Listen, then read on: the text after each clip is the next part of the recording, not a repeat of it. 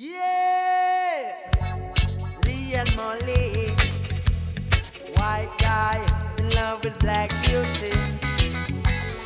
Lee and Molly, white guy in love with black beauty.